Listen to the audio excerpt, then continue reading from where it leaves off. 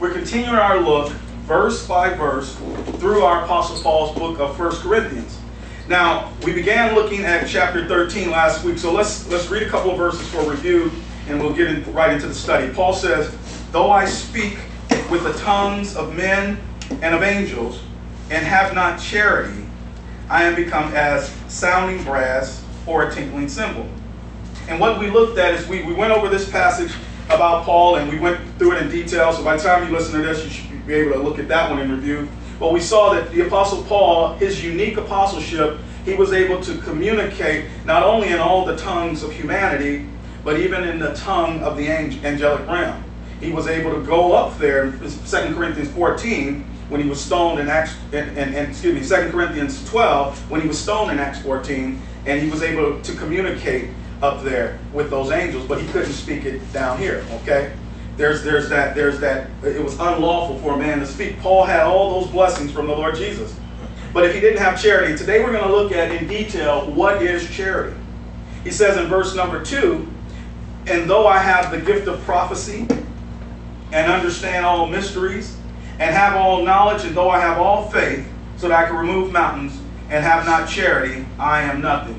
Now, when, when it comes to that, Paul says, I have the gift of prophecy. Paul was able to not only speak forth God's word, Paul, as an apostle, as a prophet, he could foretell what would happen. God gave him the special ability to speak his word and to foretell what would happen. He says, and understand all mysteries. Up in this point in Paul's ministry, the, the mystery of Christ is being written, it's being revealed by revelation. Even Second Corinthians, he says, I will come to visions and revelations. Paul understood everything that God has now revealed through the ministry of the apostle. He says, and I have all knowledge. He knew everything that God was doing in, in the world up until that point. He says, and though I have all faith, so that I can remove mountains. Now remember, the Lord Jesus Christ, when he talks about faith, he tells his little flock in, in, in the Gospels, if you have faith as a mustard seed, you could say to this mountain, be thou removed and cast into the sea. God has put a lot of power in the faith of a human being. It is faith that pleases God. Without faith, it is impossible to please Him. And Paul had enough faith that he could, if, if he wanted to, remove mountains, multiple mountains. It says, But if I have not charity, verse 2, I am what? Nothing.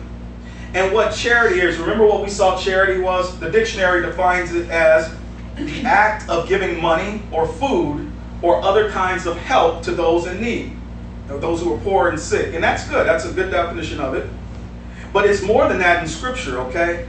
What charity is in Scripture is it's a heart attitude. It's more than just actions, it's what's behind the actions, the motivation. Where God's love, it starts in the inward man. Charity, we're going to see, is the only thing that lasts forever. Your human body, all the spiritual gifts that were in operation. Anything else in this world won't last, but what will is charity, and we're going to be looking at that, okay?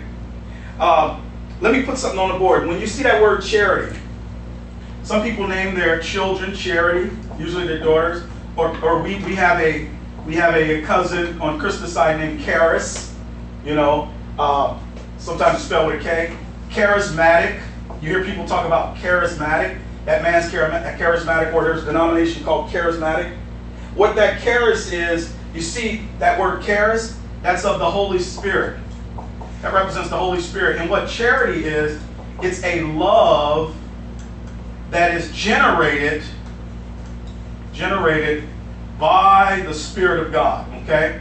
So this is not something that a lost person can have. Lost people donate to charities and so forth. We talked about all the charities, Goodwill, uh, the Red Cross and Salvation Army, all that. But they do it generated by their own selfish, it makes me feel good. I'm helping people, but I feel good. That's not what charity. Charity is only what saints, believers can have. It's a love generated by the Spirit of God. And another word of saying that it is motivated by the mind of Christ, okay? The mind of Christ. Because there is some suffering when it comes to charity, but there's going to be some glory. You're going to be rewarded for it, okay? It may not be in this world, but it will be in the time to come. So let's go over that. Charity, charismatic. Charismatic is related to the Holy Spirit. Charity is a love generated by the Spirit of God or also the mind of Christ. There's going to be some suffering, but there's going to be glory as well. So we're going to look at some verses throughout to see how this, this word charity is, is used. Charity in the Bible is also called the labor of love. It is also called the love of God, okay? Now let's go through some verses and seeing that. Go back, if you will, to chapter 8. Go back to 1 Corinthians chapter number 8.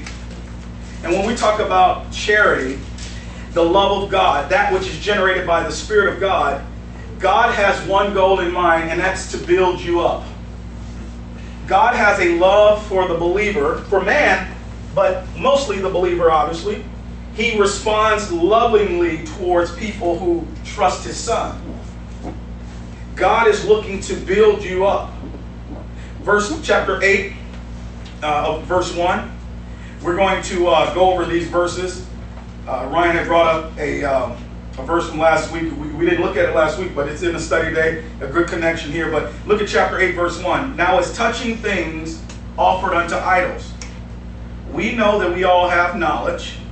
Notice he says, knowledge puffing up, puffeth up. If you're using just that knowledge for your own selfish needs, okay? And in particular, uh, here, it was meat sacrificed to idols and so forth. And it was, it was being a stumbling block to other brethren. Notice he says, knowledge puffeth up, but charity does what? Edifieth, okay? That issue of charity, that love that's generated by the Spirit of God, that love that is from the mind of Christ, that builds people up.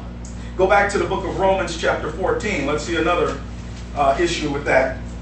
Um, it's not a big issue in our day, but meat sacrificed to idols in Paul's day was huge because the Jews were forbidden by God to eat certain unclean meats, and particularly meat sacrificed to gods, those, uh, those idols.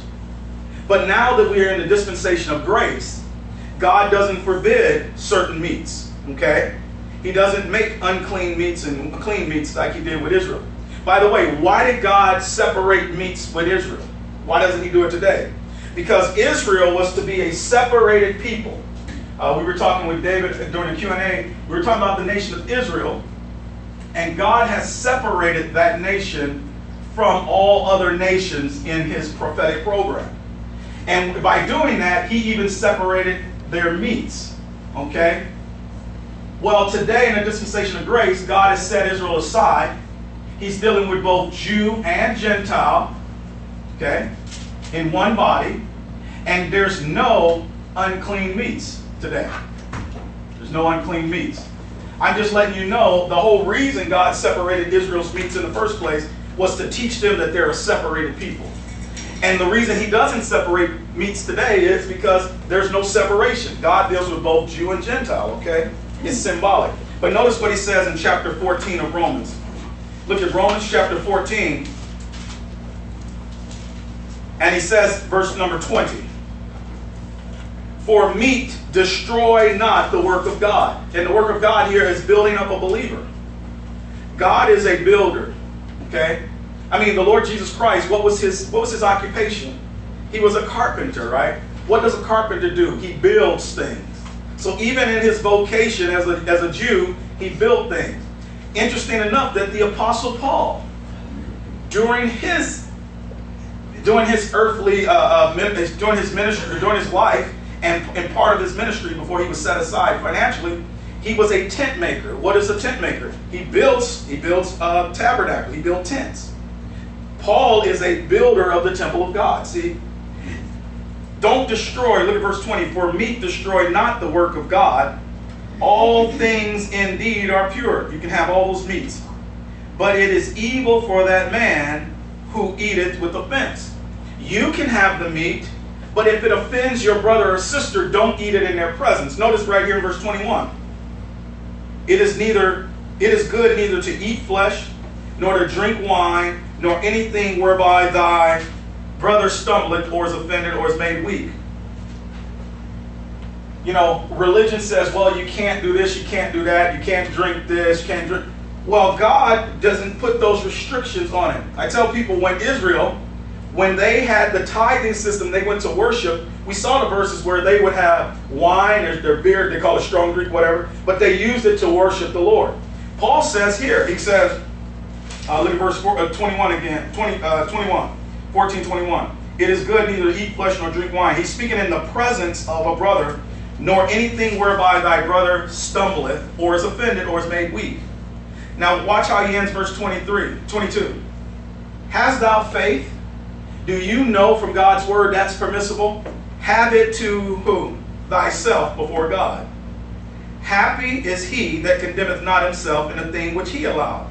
So you, and it's between you and the Lord. But if that if that thing offends a brother or sister, you don't do it in their presence. See, that's what charity. That's why he says, go back to um, verse number 15. Start at verse 14. Romans 14, 14. You don't want to put a stumbling block in your brother's way. Start at verse 13. Let us not, let us not therefore judge one another anymore, but judge this rather. You want to be a, a, righteous judge? We're called to judge and make discernment. God is saying, use the mind of Christ, use the love that is generated by the Spirit of God. Here's what charity is. It is a it is charity charis Holy Spirit. It's the love generated by the Spirit of God in a believer, but also called the mind of Christ. Here's how you ought to judge and discern life. Here we go. Verse number 13. Let us not therefore judge one another anymore, but judge this rather that no man put a what? Stumbling block or an occasion to fall in his brother's way. I know and am persuaded by the Lord Jesus, Paul writes. Now, Paul was a Jew who had separated meats in time past. And meats, when I say separated, remember, God separated because Israel was a separated nation. Paul never ate any meats that were, that were sacrificed to idols when he was Saul. But he now knows that the meat is nothing. We went over all that in chapter number 8 of 1 Corinthians. Now, here we go. Verse 14. I know and am persuaded by the Lord Jesus that there is nothing unclean of it of itself. But to him that esteemeth anything to be unclean, now don't miss the next two words, to him it is what? Unclean. See, that's the conscience of the person. But if thy brother be grieved with thy meat, now walkest thou not what? Charitably. What would the Holy Spirit do? What would the mind of Christ do? It wouldn't offend with that meat. It would eat it outside of its presence. Because notice about you can destroy a person's edification, what they're building up. Verse 15. Destroy not him with thy meat, for whom Christ died. Be very careful on not being a stumbling block in the edification of others, okay? All right, go back, if you will, to chapter 4 of, of 1 Corinthians. 1 Corinthians chapter 4. Look at 1 Corinthians chapter number 4. So we're going to be going through some passages about how to walk charitably using the Apostle Paul, okay? Notice what Paul says here. He was getting on the, the uh, Corinthians because they were puffed up. They didn't deal with the sin in that, in that assembly that was rampant, the, the leaven that was leavening the whole lump. In 1 Corinthians 4, look at verse 21. Paul says, I'm going to come there to see you guys. And, and we're going to judge who, who, who's got power from God. One thing that Paul, as, a, as an apostle, a prophet, would do, you remember Elijah? If you haven't read this, read on your own time First Kings. The prophet Elijah, there was 450 prophets of Baal under Jezebel, that scandalous woman, uh, queen of Israel, and her weak husband Ahab, the king. And it was a battle between the prophets of Baal, 450, I believe, and one man of God, Elijah. And Elijah said, if you let's see who is really God's man. They did all their stuff. They cut themselves. They offered sacrifice to Baal, and, and nothing happened. Elijah said, put some water on everything, soak it, soak it. And he says, God will call down fire from heaven and it soaked up everything. Elijah was God's man. And what God's men will do is say, let's prove, come on, let's let's get together, let's contest and see who, who got the power of God. And that's what Paul is saying here. These people were going against his apostleship. Some, verse 21, look at chapter 4, verse 21. What will ye? He said, What do you want when I get there? Shall I come unto you with a what? A rod. You know what a rod is, children? Yeah. A rod is used to beat a rod is for a fool's back, it says in Scripture. Paul says, I can come with a rod. I can come and, and, and, and, beat you down if you want. That's not what I want to do. Notice in verse 21 or in love and in the spirit of meekness. That word love there is the same one that, that's, that's the word charity, okay? Paul says, I can come with a love generated by the Spirit of God, and what he's going to do is going to come and edify them. That's his own goal. His only goal is to edify and build up these believers, okay? Let's look at more. Go over to chapter 16, 1 Corinthians chapter 16. Look at verse number 14. 1 Corinthians chapter 16 and verse 14. So as we look at the Apostle Paul, what he says and what he does, you're going to see this issue of being, you know who truly is a charismatic? You know, the charismatic movement, they believe that there's Holy Spirit led gifts and so forth. There was in, time, in, that, in that time. But really, it's not the gifts that's the issue because the Corinthians had all the gifts. It was their heart it was the heart that's the issue. It's the heart issue the motivation and so forth. They had all the gifts. They were charismatic as far as the charismatic movement. But really, charismatic means are you operating in the Holy Ghost? Is your love generated by the Spirit of God? Are you using the mind of Christ? And even these people with the gifts were not. Paul had to rebuke them. Let's keep looking at it. Chapter 16, as he ends the book, notice what he says at the end. Verse 14. Start at verse number uh, 13 we talk about watchings from, from, from Ephesians, um, Philippians. Watch ye. That means be, be, be mindful what's going on around you spiritually. Stand fast in the faith. Hold on to the mystery of Christ. Keep that faith. And then he says, quit ye like men. Quit ye like men. What does that mean? Act like men. And what is a man to, supposed to be? Strong. When God talks about a man, he talks about strength. spiritual strength, even how God made a man's body physically, is supposed to represent what he wants a man to do. He tells, he tells Job, he says, quit yourself like a man. Let's talk about why I created you. And he says, be strong. He's talking about strong in the faith. Verse 14, let all your things be done with what? Charity. Listen, everything we do, the motivation behind it should be charity the love generated by the Spirit of God or the mind of Christ to edify and build up others. That's how you live as a believer. So when you wake up and you pray to the Lord, you think about the day, you say, How can I build another person up? Okay? That's, the, that's what life in Christ is all about. Let's look at a few more of these. Go over to 1 Thessalonians chapter 3. Go over to 1 Thessalonians chapter 3. 1 Thessalonians chapter number 3. and Paul, as our pattern, our example, he, he puts this on display. 1 Thessalonians chapter 3, look at verse 6. Now the Thessalonians were putting on display this charity. Look at verse number 6.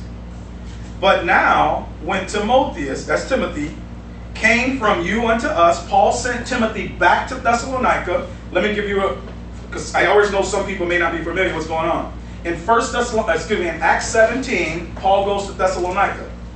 There was a big uproar because of Paul's ministry, and so they kicked him out of there. He couldn't go back to first. He couldn't go back to Thessalonica, but he sent Timothy back. And Paul was wondering, did all that tribulation that happened when I was there, did it cause you guys to fall away from the faith? And that's true. I, I can tell you what, and this is true. I was, we were talking to Ryan it's hard to even leave for a week because Satan, even like when we will go back to when we back to Minnesota or like when Ryan went up to Thailand, it's like Satan takes the opportunity to try to attack. Even he's always looking for weakness, to try to get in there, a foothold. When Paul left, man, Paul's evil got even stronger. Everywhere Paul would go, he would then leave, and here comes the, the devil through men trying to mess things up. It happens. But guess what these guys did? They held strong in the faith. Look what he says. Verse 5. Speaking of the tribulation, for this cause when I could no longer forbear, he was thinking about them, I sent to know your what? Faith. faith. He says, I wanted to see if you guys were sticking with it. I understand that Paul is right. Lest by some means the tempter, who is that? That's Satan, right? He called the tempter, have tempted you, and our labor be in vain. I mean, I can imagine the apostle, he can't go back. He'd get arrested. Not only would he get arrested, he doesn't care about that, but the people like Jason and these people who, who, who met with Paul, the civil authorities would attack them too. They said, if we see that guy Paul there, we're going to arrest all of you guys. Paul says, I nope, you guys need to be doing the ministry. I'll stay away, but I will send Timothy. Now watch what happened. Paul's worried about what happened. Verse 6. But now when Timotheus came from you to us, that's Paul and Silas and so forth, and brought us what type of tidings? Good tidings of your faith and charity. Oh, can I show you guys something? Notice the two things he mentioned first. He says, Your faith and your charity. So keep that in mind. So we're gonna we're gonna be breaking this down. But another thing, and that ye have good remembrance of us always. Oh, that's fantastic. They always had a good mind towards the Apostle Paul and those men with him, desiring greatly to see us as we also to see you. Verse 7 Therefore, brethren, we were comforted over you in all our affliction and distress by your faith. For now we live if ye stand fast in the Lord. You know what Paul's saying?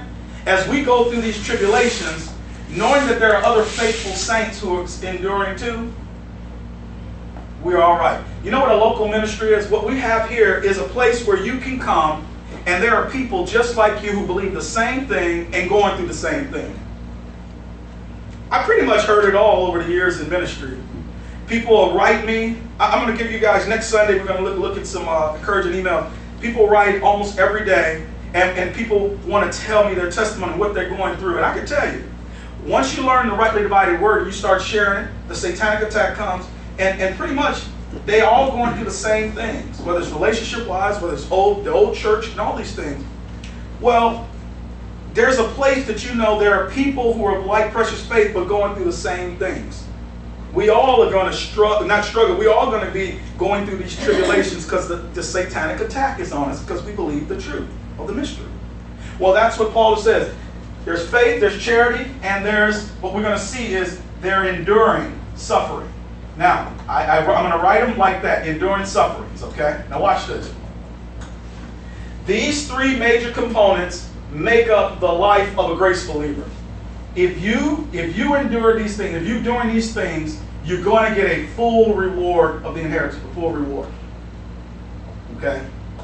Well, I'll say it like this: you're going to be rewarded, because only only the Lord knows, because we lack in some things. But you're going to be rewarded. You're going to get reward of the inheritance. Where He puts you out there, or where the Father puts you out there, that's between the Father and the Son. But if you have these three things, you see that faith and charity, let me show you how he says it over in chapter 1. Go back to 1 Thessalonians chapter 1. Your life as a believer is broke down in these three categories. I want you to remember this always. Notice 1 Thessalonians 1, verse 3. Remembering without ceasing, Paul as he prays for them. What does when Paul prayed for believers, what did he pray for? Look at verse 2. We give thanks to God always for you all, making mention of you in our what? Prayers. So what was Paul praying to God about for these believers? This is fantastic. This will tell you how to pray. Remembering without ceasing your what? Your work of faith. See, there's your work right there. The work of faith, being a workman. You have to study the Bible. What you're doing right now is the work of faith. As you guys listen right now, you're doing the work of faith. We're doing it together. But also, he remembers something else. Notice here, he says, the, the fan blew my thing here. Here we go. Remember without ceasing your work of faith and what? Labor of love. Ah. Over there in chapter 3, he says charity, but here he calls it labor of love. Now, can I tell you about labor? It's hard. Hmm. You, you know the difference between work and labor in the Bible. Because I looked this up, I studied. People say, what's the difference between work and labor? Work takes so it, it takes this takes energy, okay, but it doesn't necessarily. It's not necessarily hard. You know, you go to work. Some people go to work, sit there for eight hours. Do nothing and you go home. Get a paycheck. Nice cushy job, but not a laborer. Uh-uh. The, the word labor, it, it, it has to do with some hardness, okay? It's hot. You're working outside. We have we have a, a brother in the Lord, Wade, in, in, Minnesota. He works he works six months out of the year during the. You can't work outside in the wintertime in Minnesota. You just can't. You can't. They can't do road construction. Too much snow. Too much ice. Too much rain. So for six months during the summer months, from about May on through, he gets all this work in 16 hours a day. Right? Does he's a road. He's he, he's a paver of the roads or something. He's always tanned and stuff. But then for the winter months, he just leaves town. He, he, got it. He just goes, he's a snowbird. He's like 39 years old. Well, what, what, what our brother does and his construction guy, that's labor, man. See, there's the there's energy in the work, the work of faith. That's what y'all doing here. You're sitting here, you're thinking about some things, you're sitting here. But then the labor of love, you taking what you're learning and you're putting it into practice. See, that takes that's that's hard. That's hardness. But it's the labor of love. You're doing it to build others up.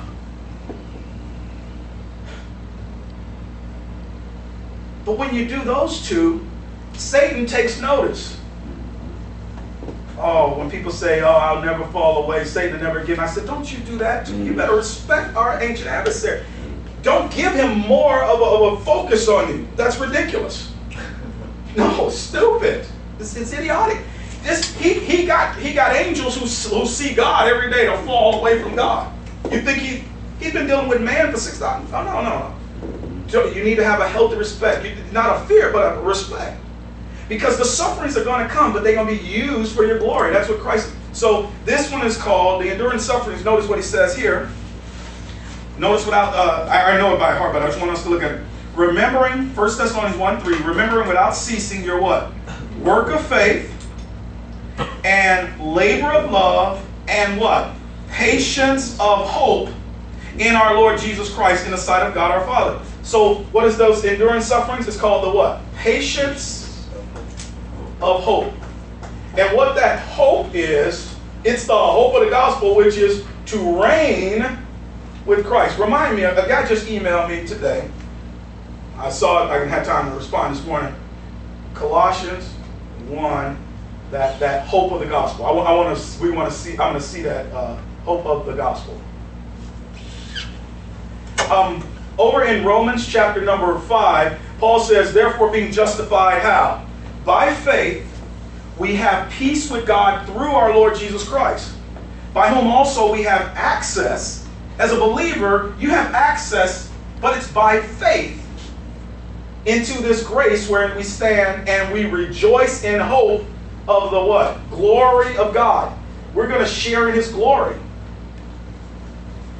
We're going to reign with him. If we suffer, we shall also reign with him.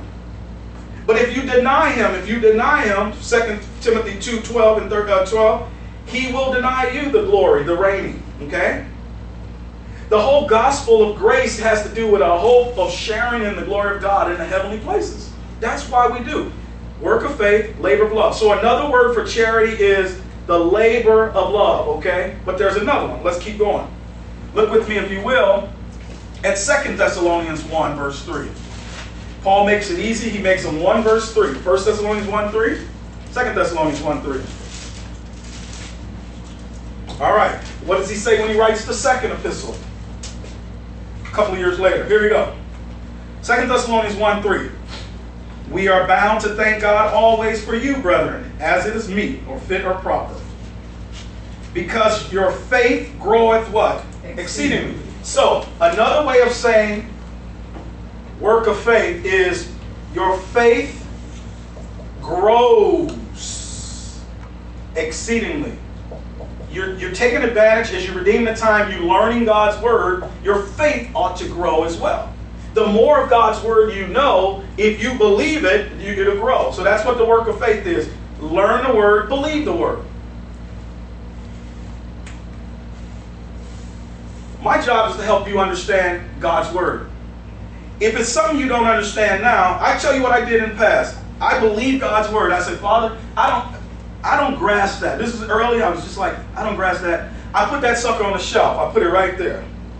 I would ask other men and so forth, other brothers, if, if they couldn't help me, I say, okay, God, I need your, you know, to time. And what happens as you grow in the word, you start growing in understanding. So if it's something that you don't understand, just put it on the shelf. Say, Lord, give me that understanding down the road, but believe it.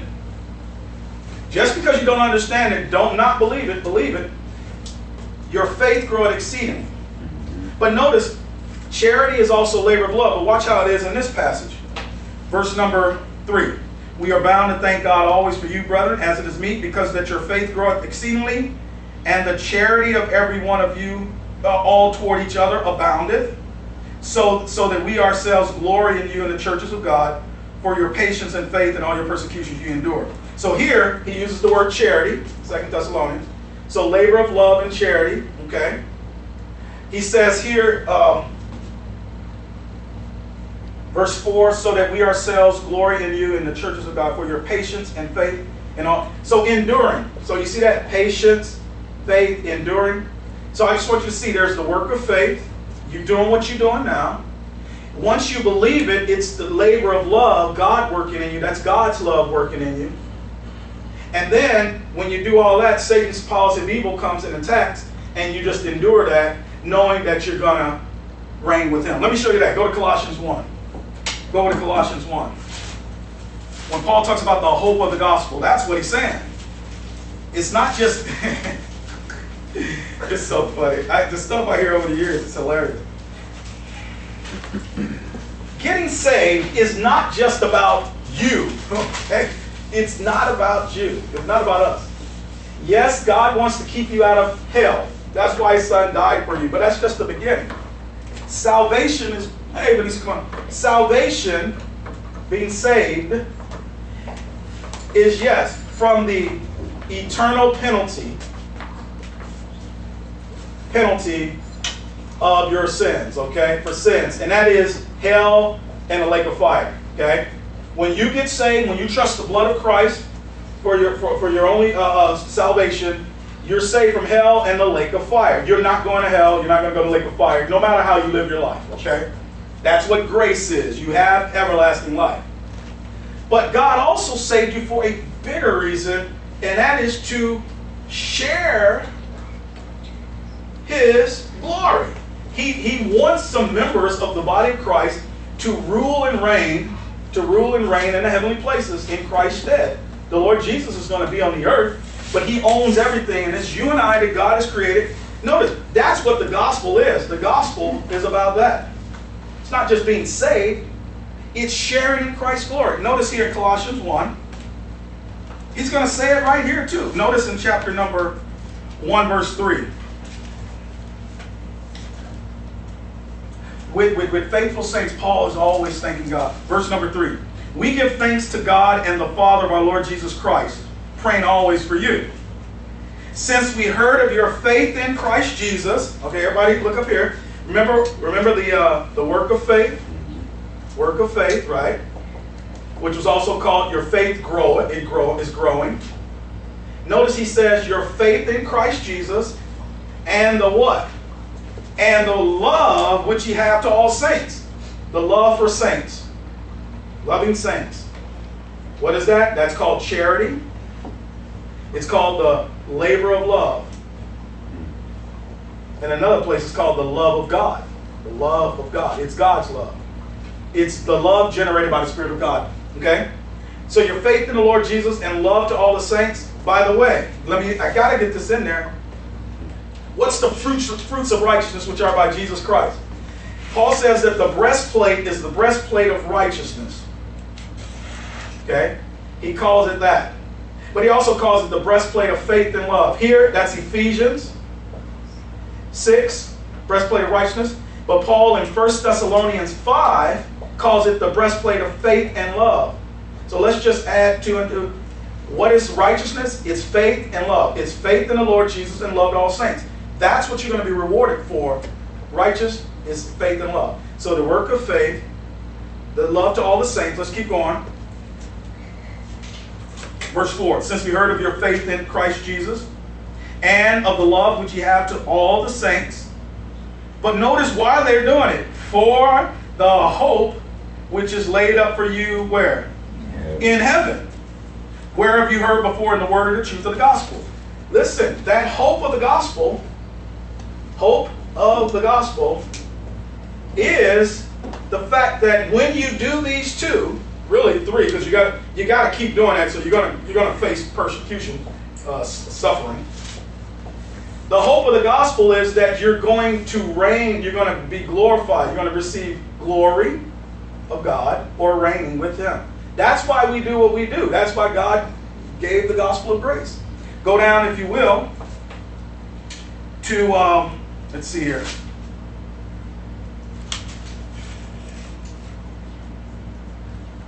Yes, verse 23. Colossians 1 2 3. If you continue in the what? Faith. What's that? That's this. If, if you continue, if you when the sufferings come, you don't you don't give up. You endure them. You endure.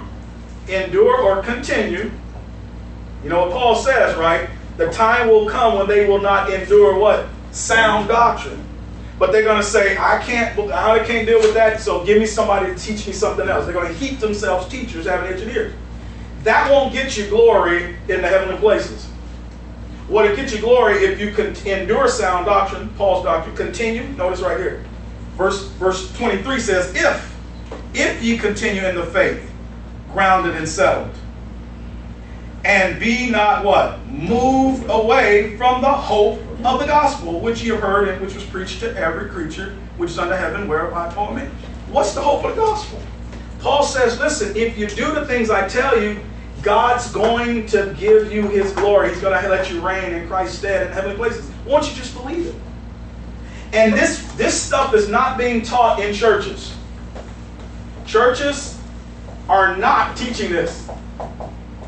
Everything is about the earth, the earth, the earth. On Wednesday, we're going to be seeing a mind earthly thing. It's about the earth and earth. Come on, bless me with this, Father. Give me that, give me this, give me this. When Paul says no, our conversation is where? Set your mind, set your affection on things above, not on things on the earth. We're going to see all that Wednesday. But this is what Paul's, Paul is saying. That's the hope of the gospel, okay? All right, let's keep going. Go with Colossians 3. Look at verse 14. Colossians 3, verse 14. And above all these things, and you can read them, he's talking about all the things that becoming saints, put on charity. Look how he describes charity, which is the bond. You know that word bond is like a glue. It's like glue. When you glue something together, you ever you ever you ever got crazy glue on your fingers? You know, you, you, you, using that crazy glue and gets on your fingers. Your fingers, you can your your skin comes off, doesn't it? That's what he's talking about. That's what a bond, like a bond, like crazy. Think when you see that word bond, think crazy glue, because it. What what watch what he says here. Verse number um, 14. And above all these things, put on charity, which is the bond of perfectness, the bond of spiritual maturity. Spiritual maturity shows itself in building up others. Building up others. Okay? That's what charity is. Serving, building up others. By love, serve one another. But the bond of it, the glue of it, of your spiritual maturity is if you get busy using what God has given you to build up others, that is, that'll, that'll cement. That's another word, cement. Cement. You know what bothers me when these guys go out there working, they put the cement down, and somebody mess with the cement, put their handprint right in there. Right. We were watching, it was like, it was like such and such love such and such. Then put the date. So it's, it's, it's, ever in the cement, right? That drives me crazy because I, I like to see the. That's what that is. It, it, it just cements it. What cements your spiritual maturity is a life of building up others, okay? Using your life as a sacrifice to build others up. That's what Paul is saying. All right, a couple more. Go with me to um, 1 Timothy chapter 1. 1 Timothy chapter 1. I don't know, I'm a stickler for rule. I never was tempted to, to do that when I saw that.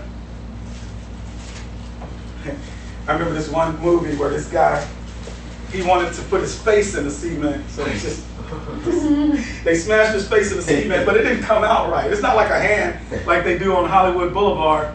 put your little hand prints and you ever went down there? First time we went down there, you could see this little Hollywood Walk of Fame, and you, everybody's putting their hands. Oh, this is Michael Jackson. Let me see. You know, that was the only one I checked out. Michael, I grew up on Michael.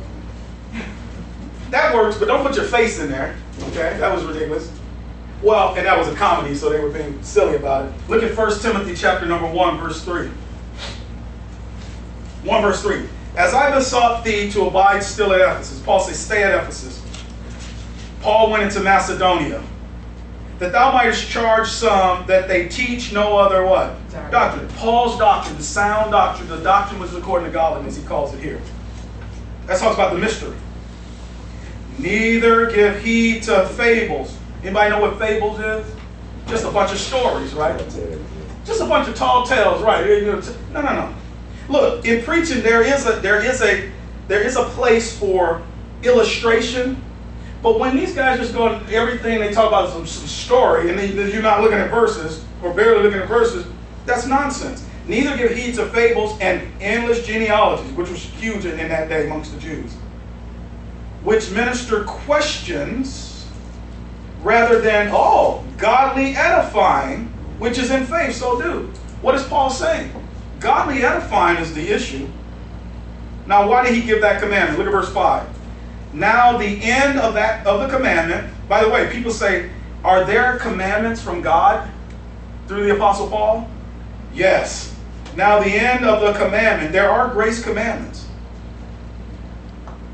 Paul says, if any man think himself to be a prophet or spiritual, let him acknowledge the things I write unto him, the mystery, the gospel of grace, are the commandments of the Lord. So there are grace commandments. Verse 5. Now the end of the commandment is charity out of a pure heart. Having the right doctrine, the mystery, should produce, if it's done right, charity out of a pure heart. That's why I told you charity is not just the action, it's the motivation. Notice here, and of a good conscience, and of, of faith unfeigned, Unfeigned means it's, it's not false, it's not pretend. From which some, having swerved, have turned aside unto what? Vain jangling. Remember, Paul says, like a tinkling cymbal, anything that's not the mystery being taught is just vain jangling. And the more you get used to hearing the message of the Apostle Paul, when you listen to preachers on TV, hooping and hollering and him and hawing and stuff, it's just vain jangling. You, I can't endure that stuff. Listen, Verse 7 desiring to be teachers of the law. The law was taught in the earthly ministry of Christ. Desiring to be teachers of the law, understanding neither what they say, these guys are clueless, nor whereof they affirm. They're putting a, a program on believers that God has not given for us today. All right? So I just want you to see that charity is huge throughout Paul's epistles. Now, Go back to 1 Corinthians. You've got about 15 minutes. Go back to 1 Corinthians, chapter 14, excuse me, 13. 1 Corinthians chapter 13. Now, Paul's going to go and give some details about what charity is, how it, what it looks like, what it feels like, how it's manifest. All right, so what did we learn today? That charity that word charity, charis, charismatic. Charismatic, it means of the Holy Spirit. Holy Ghost, the Holy Spirit, okay. Charity is the love produced by God the Holy Spirit, or it's the mind of Christ. That's what we learned, okay? That's why only believers can do this, because you got to be saved to do it, okay? Now, how is the God towards us? Look at, look at chapter number 13, verse number 3. And though I bestow all my goods to feed the poor, that's what most people think charity is, you know, giving them to the poor. And though I give my body to be burned, you know, I think about, they talk about the ultimate sacrifice of, of soldiers. And, and on a, in a worldly viewpoint, that is good. Um, you know, you're in a foxhole with some guys, I got a lot of World War II veterans that I drive around in my senior home, 95 year old guys. They were in the war. And they still have vivid memories. One guy was telling me that he was in a foxhole with these guys, with his, with his uh, what, what do they call it, Denise? His, his guy. What would that be? Oh wait, A squad? yeah, squad. Oh, I don't know. You, you, uh, Okay, I'm okay, sorry. help me. His comrade. Yeah, Yeah, yes, it's a squad that you're. All right, yes. Well, they're over there in, in, in Europe fighting for the, for the Allied nations and so, so forth against Hitler. And here comes a grenade or something, came some type of bomb, you know, explosive device. And one of his guys jumps on the thing to protect his guys. He took the, he died obviously, he was blown to bits, but he, he saved his guys, you know. That old saying, all give some, but some give all. And that guy did. And these guys remember that vividly. One guy, he was a tail gunner in a World War II um, um, airplane, and he'd see his guys he trained with, and, and, and they getting shot out the skies. They're, they're, you know, they're way up there, and he's watching them get shot up, blown out the sky. These are the guys he trained with. They still, this man, 95, he has these vivid memories of this. This body to be burned. So there is some profit for others. If, if you give goods to the poor, it will profit the poor.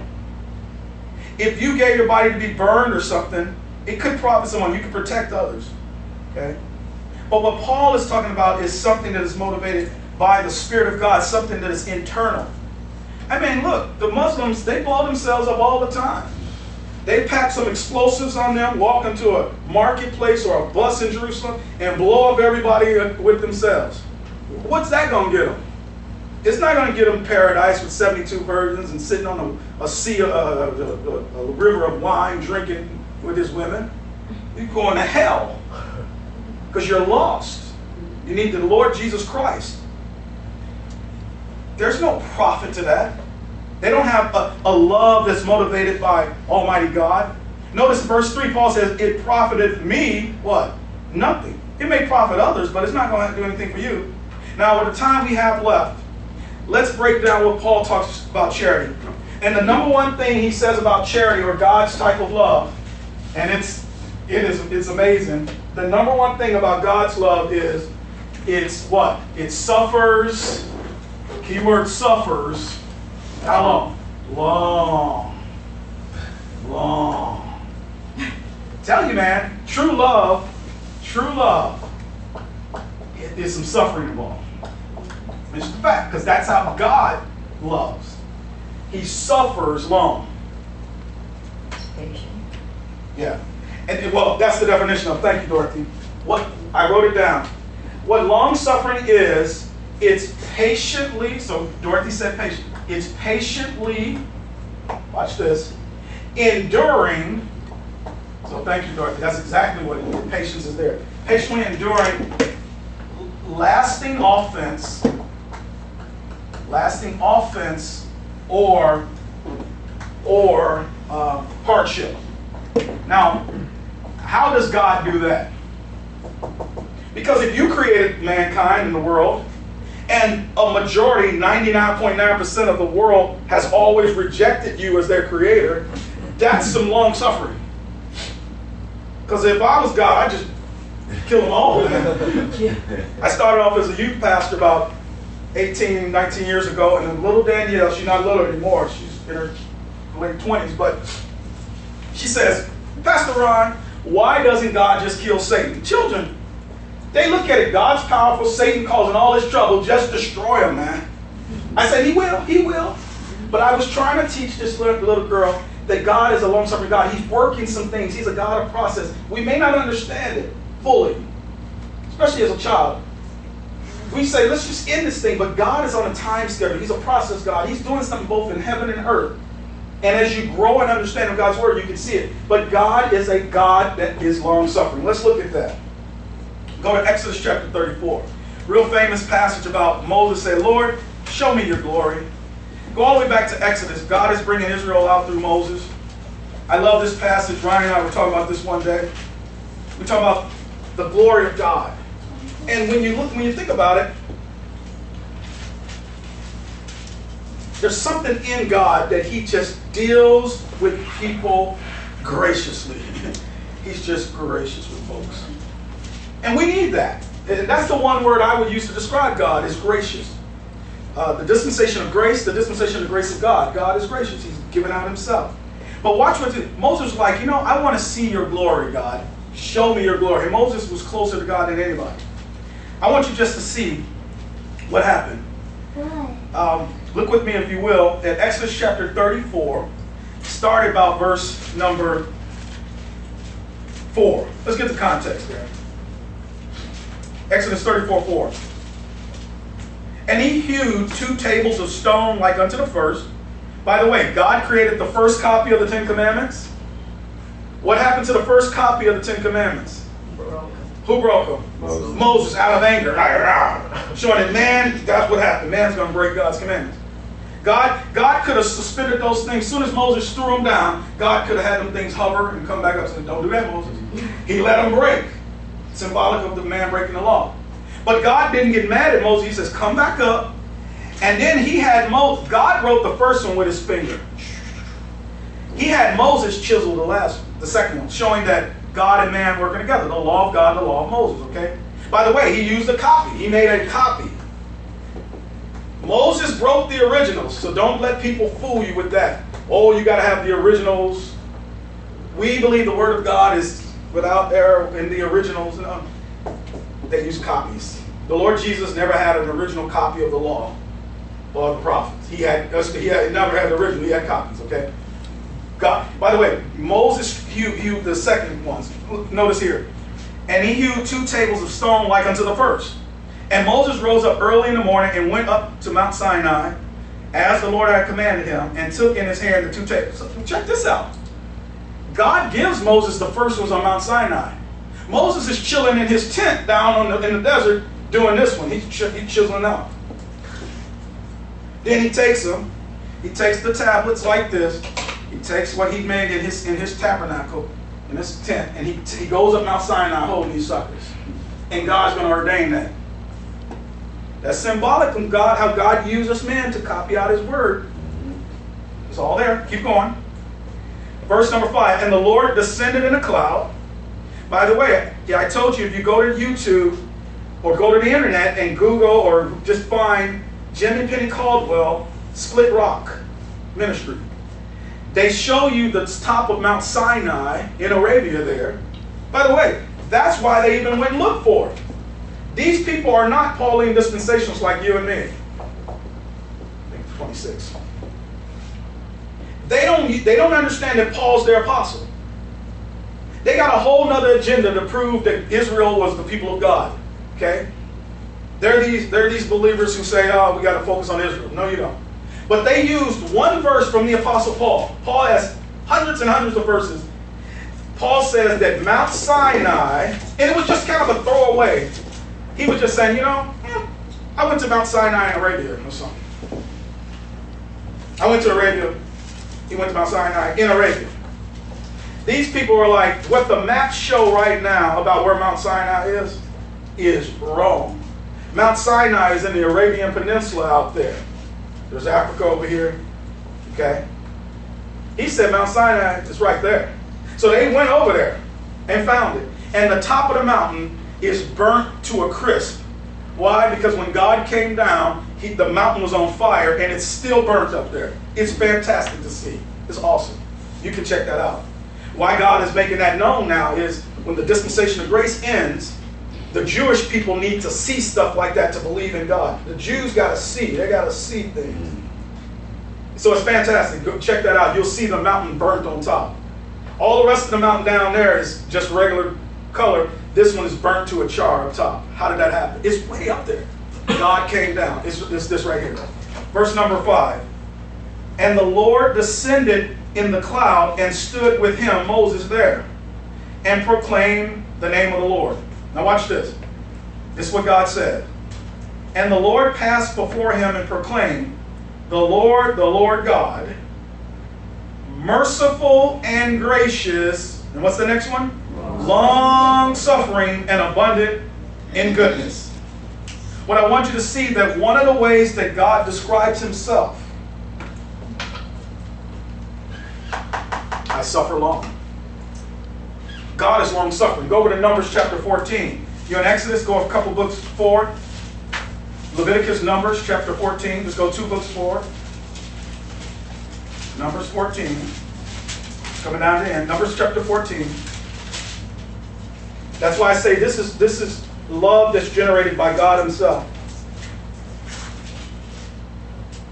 So parents, I'm a parent. When you love your children, you're gonna suffer. Okay, you're gonna be some suffering dealing with them. Amen. They're yours though. You had them, right, buddy? Mm. I just messed. with- I, y'all know what I got over there. That little girl. Her personality way different than Kristen. Now we introverts. She's just all over the place. We gotta reel her in. She wakes up. It's Sunday. I get to see people. She wants to be a greeter at the door. I go, no, you can't be doing that, That's crazy girl. All right, that girl tried. When we in public, oh man, Kristen I be trying to hide. This girl singing down the aisles. Ah, let it go, let it go. I'm like, we're in the store here. What are you yelling out there? She's singing Annie songs. The sun will come out. People like, hey. It's, it's nuts, man. When you're an introvert, you don't want attention. It's crazy. This girl just, ah, we're gonna put her on Broadway or something. We're gonna have to move to Southern California, man. Make some money out there, little girl, for real. God, she drive me crazy. No, I'm kidding. Long suffering. Numbers chapter 14, verse 8, 18. Numbers 14, verse 18. Verse start at verse 17. And now I beseech ye, uh, Moses speaking to God, and now I beseech thee, let the power of my Lord be great according as thou hast spoken, saying, The Lord is what? Long suffering. That's the thing that, by the way, over there in, in, in, in Exodus, he says, merciful, gracious, long suffering. But notice when Moses speaks about God, he switches that around because what Moses wants God to be first is long suffering. Verse 18 The Lord is long suffering and of great mercy, forgiving iniquity and transgression, and by no means, oh, oh, by no means clearing the who? Guilty. You know, just because God is gracious doesn't mean he just lets stuff slide. He's a righteous judge. He cannot clear the guilty. You have to deal with that sin. But notice he says, once you do, he says, visiting, uh, so if you're guilty, visiting iniquity of the fathers upon the children to the third and fourth ge- generation. Pardon, I beseech thee, Moses says, the iniquity of this people, that's Israel, according to the greatness of thy mercy, as thou hast forgiven this people from Egypt until now. Okay? And the Lord said, I have pardoned how? According to thy word. God was testing Moses. Moses was interceding. And God, by Moses' faith, pardoned the people. They didn't deserve it, but they did it. He did it for, for, for Moses' sake. All right, we have to end. Um, let me see here. Yeah, let's let's end in. Um, I, I, I think you all get Galatians. Go to Galatians chapter number five. Yeah, Gal- everybody heard about the fruit of the spirit and so forth. Galatians chapter five. Galatians chapter five. The reason the, the, the charity is, is, is produced by the Spirit of God in believer is look at Galatians chapter number five.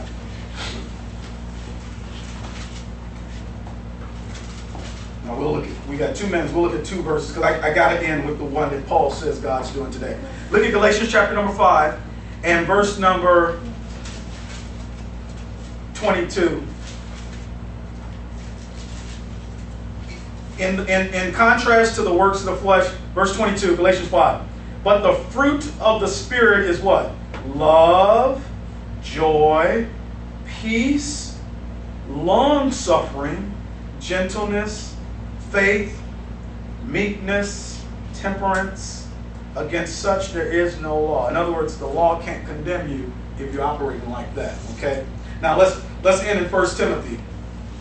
The greatest love that God has is displayed today. Look at 1 Timothy chapter number 1, if you will. if you've been with me for a while, you know how I end every session. But God commended his love toward us, right? And thou, while that we were yet sinners, yet means I'm still in my sin, Christ died for me. God's love, most people say John 3.16, for God so loved the world that he gave his only begotten son. Whomsoever believe in him shall not perish, but have everlasting life. I see it in chalk. I'm just driving, and somebody put it on the chalk, the, the, the curb in chalk. You see the signs at all the ball games. That's good.